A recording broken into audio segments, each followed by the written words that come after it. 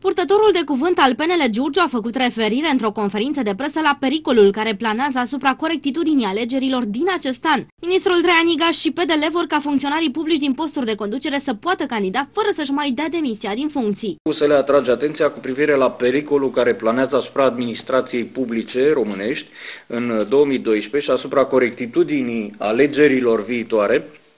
din noiembrie, pentru că există un proiect de lege al ministrului uh, Igaș, de la PDL,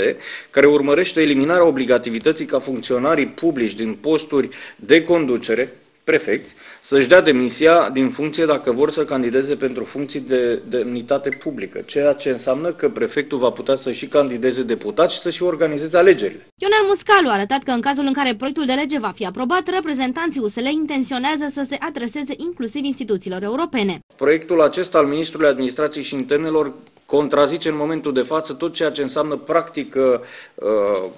europeană în uh, domeniu și practic duce la fenomenul acesta extrem de grav în an electoral. Prefectul uh, poate fi și cel care organizează alegerile și cel care candidează în respectivele alegeri, iar șefii de structuri de concentrate vor strânge bani în 2012 pentru candidatul lor la funcția de parlamentar.